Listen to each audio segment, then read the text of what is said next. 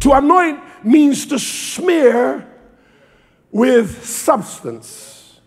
And so the substance of God, because it is eternal and endless, if a little bit of the anointing is smeared on you, it is endless.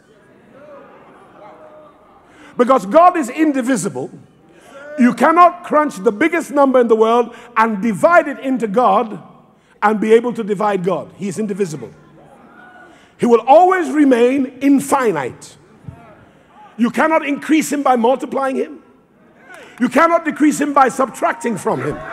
You cannot decrease him by dividing him. He is endless. That's when when he preach, all I need is a crumb because anything in the loaf is in the crumb in sufficient quantity to bring about the deliverance that a loaf can bring in the crumb.